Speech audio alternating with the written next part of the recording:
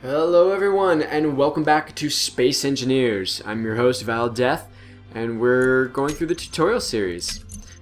This episode, the last tutorial, number 10, grids, merge blocks, and object grids. Uh, to learn how to, the nature of grids, the rules that govern them, how you can join them with merge blocks, and a brief section on floating objects. Alright, welcome everyone. Let's begin the final tutorial. Hey, faction! Yay. First three chambers are about reading and viewing. It is up to you to decode when to move on to the next chamber, or decide when to move on to the next chamber. Okay, that's where we start.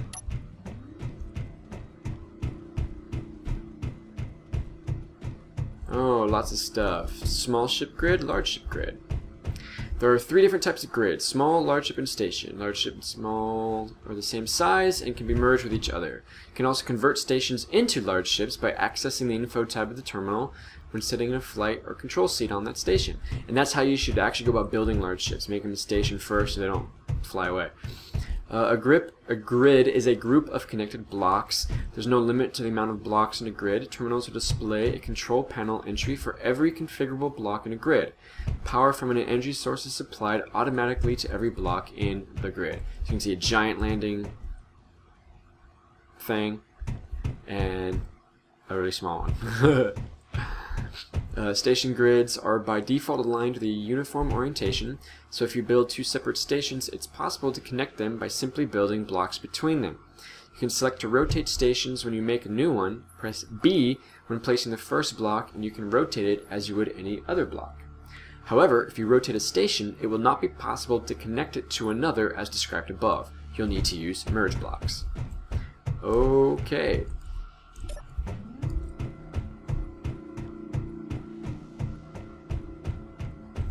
small ship blocks. Yep, we've seen this. These kind of things, landing gear. Those things. And here are the larger versions. Small ship and large ship grid blocks vary in size, shape, and sometimes capacity.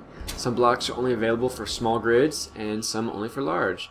The wall of blocks here shows selection of blocks in both sizes. A red cross means there's no equivalent block for that capacity.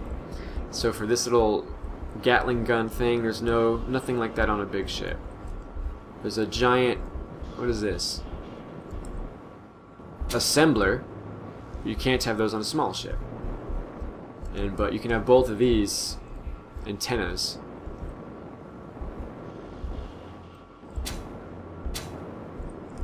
Hmm. Cool. Oh, look at that big ship out there. Yeah, we're gonna go fly it. Alright, doors. Alright. Different ships. Different ship sizes. Bivocator. Fighter. Small ship. It's pretty cool a miner, small ship. That's quite the miner. A welder ship.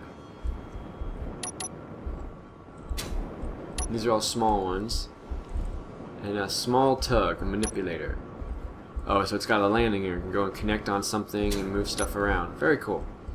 And now here, foreground concussion a missile frigate large ship. And that farther one away is a carrier large ship. Very cool. So I guess we're not flying them, we're just seeing them. Alright, now we're gonna actually start doing stuff. Pick up grinder tools.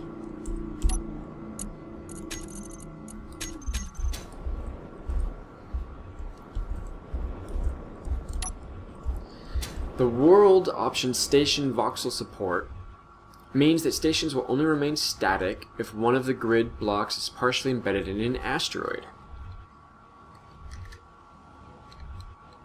This station grid is supported by the asteroid material at its base.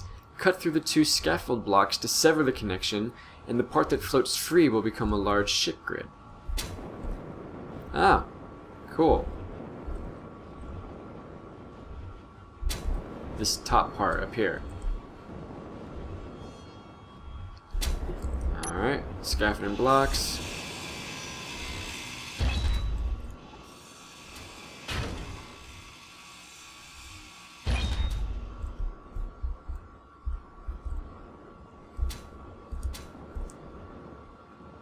Of course there is a grid.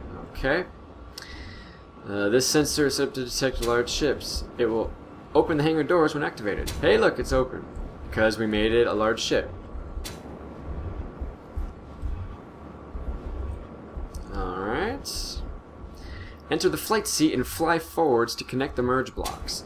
When connected, the ship will become part of the station and you'll be able to use button 4 on the button panel to open the doors to the next chamber.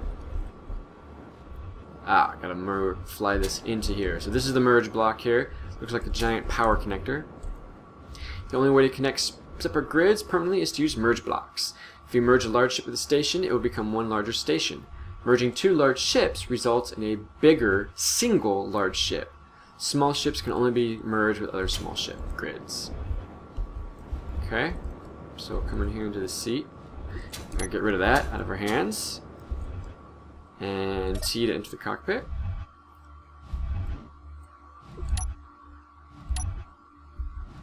There we go. We should be connected now. And now I can come over here and use this button. And it opens. And they're green, showing the connection. Awesome. Merge blocks can be disconnected by setting either half to off in their terminal control. Enter the cockpit of this ship and press 3 to detach the weld ship. Then use it to repair the button panel by the hangar doors which allow you to exit.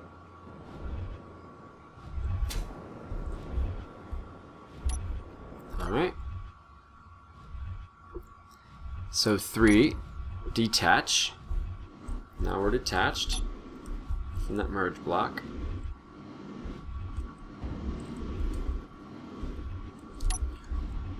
Let's come back over here and turn on our welder repair thing, and that's done. And now I can hop out.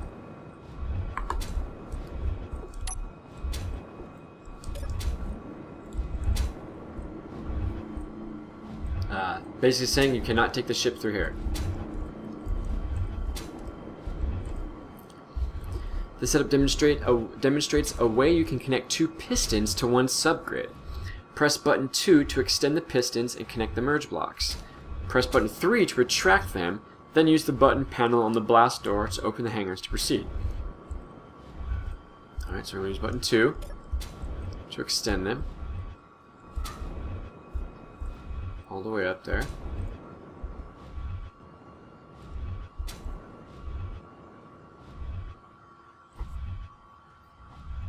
Alright, so they're connected piston and rotor subgrid information. When attempting to use merge blocks to connect to piston and rotor subgrids, good practice to build them on the side rather than directly on the rotor head so they can be deleted later.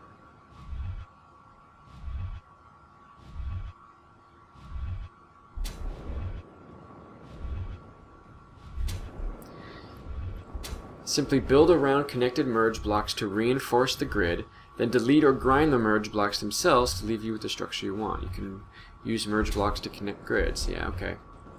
Rotors and pistons create subgrids for the objects attached to their respective heads. These subgrids will connect to the parent terminal so you can access and configure the subgrid.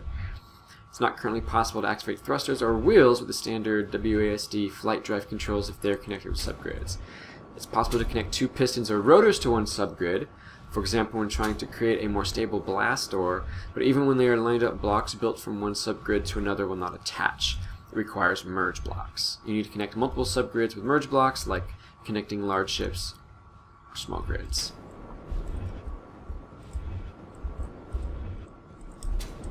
Alright. Retract them. Then use the button panel on the blast door to proceed to the hangar. Now that they've connected and grabbed that stuff together, pulls it back down and I can get access to this. So that's what it's showing here, that it went up there, those merge blocks connected, made it one unit, and then I pulled it back down. Pretty cool.